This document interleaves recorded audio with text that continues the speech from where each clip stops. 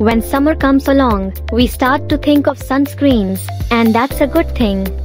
But the truth is, we should be wearing sunscreen every single day, unless you live in a cave. You're most likely experiencing the sun and its UV rays on a daily basis. As lovely as a sunny day can be direct exposure to sunlight is very harmful to our skin. The good news is that we can still experience the sun's benefits while wearing sunscreen. First of all, if you are naturally tan, you still need sunscreen.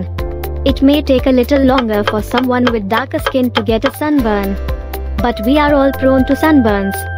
Don't think we can skip cloudy days either as sunburns aren't actually caused by the heat of the sun, or how bright it is outside. They are caused by radiation.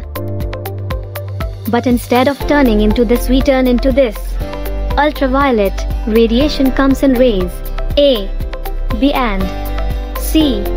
This one hardly ever makes it through our ozone, but these ones do and this one can even reach us through glass and don't forget about the tricky spots.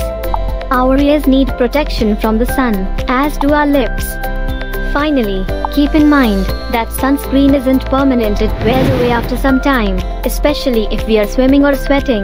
This means we need to reapply it every few hours.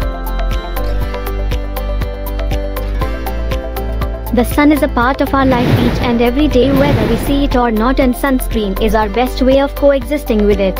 So keep the tube handy and remember, every day, everywhere, and reapply.